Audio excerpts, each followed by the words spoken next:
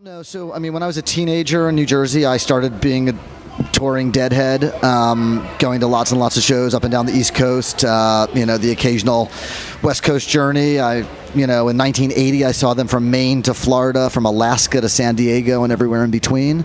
Um, and then in uh, 81, I believe it was, or 82, somewhere in that range, I moved to Olympia, Washington to go to college. I went to the Evergreen State College, and uh, the birthplace of Nirvana. And um, uh, you know, and, and had a great, amazing uh, time there with a lot of incredible people, a lot of music around us. Uh, and we had a lot of fun. Um, you know, we were definitely we lived with a band. Um, you know, we were a part of that whole kind of culture.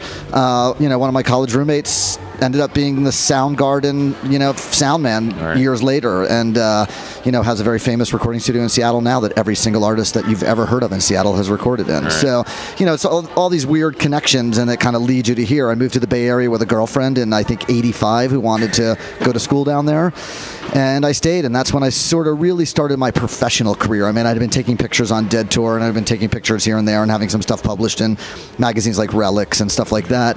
Uh, but when I moved to the Bay Area, I kind of made a conscious effort that I thought that I wanted to be a professional photographer. I mean, my, my shoots with Tom Waits have been portrait sessions, you know, Right. up in, you know, uh, Sonoma County, up about where he lives. And so that's a different thing. I mean, that's me putting him in an environment that I think will be cool and either lighting it the way I want to light it to add drama and tension, or it's, if it's a natural uh, setting. I mean, I did two big portrait shoots of him for magazine stories, uh, one for Bone Machine and one for I can't remember the name of the record that was after that. It was eight or ten years later, maybe seven years later. But both of them were just absolutely mind blowing experiences, um, just because I think of the energy that Tom Waits um, that surrounds him in his daily life, not even what he brings to the photo shoot. I mean, you know, one of the shoots involved an abandoned car at a, a house that he thought was abandoned, that he said was three minutes away from where we were.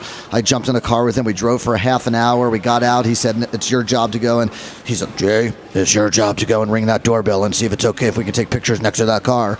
And, you know, and nobody came out. We started walking up the driveway and climbing over the, the cow barbed wire fence. And a little old lady who was deaf and half blind came out. And, you know, it's just it was Right. this mind blowing thing, and you know, and I'm like, hey, can we take pictures of my friend Tom here next to your car? And she's like, car hasn't driven in 25 years. I mean, it had no wheels. It's been like in the cow field since the 50s, you know.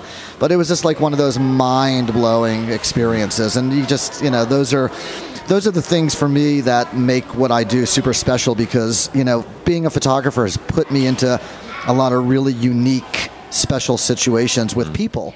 And right now, I'm in the very, very end of uh, finishing a book called Jam, which is just live concert photography. All my other books have had portraits and live photos in it. This is just live concert photography. And 90% of it is over the last five or six years. I mean, there's a handful of vintage shots from the 70s and 80s. I have some great juxtapositions of like Bobby and Phil from the late 70s and Right. Bobby and Phil from today.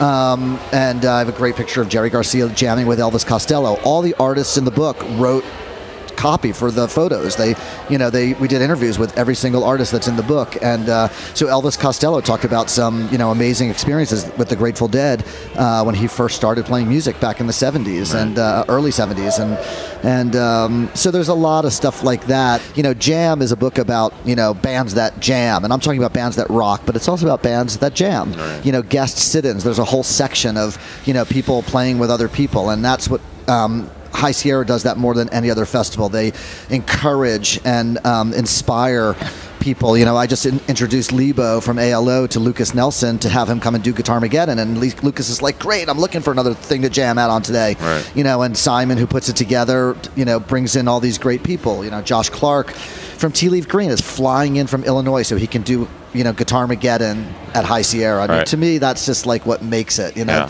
those special moments, these artists that are sitting in with each other and um, just creating these, you know, once in a lifetime musical moments, and then I get to capture them, Right. you know, with a photograph. And and to me, you know, that's it's an anthropological study. Right. You know, we are capturing pop culture history in the making.